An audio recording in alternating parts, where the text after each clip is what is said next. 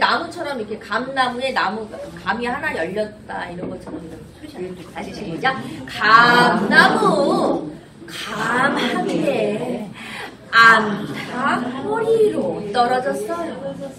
꼬꾸리 꼬꾸리 여기 이렇게 떨어지는 거 얼마나 아프겠어요. 꼬꾸리 이렇게 이렇게 이렇게 즐겁게 하면 안 돼요. 꼬꾸리 이렇게 해야 돼요. 머리로 뻥 떨어졌으니까요.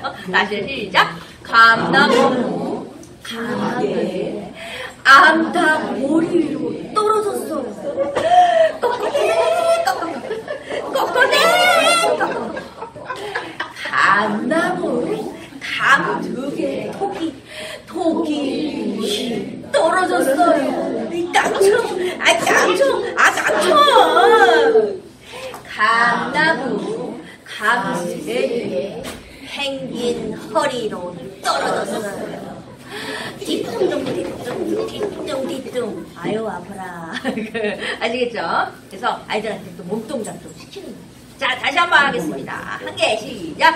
감나무 감게 암탉 머리로 떨어졌어요. 꼬꼬대 꼬꼬대 꼬꼬대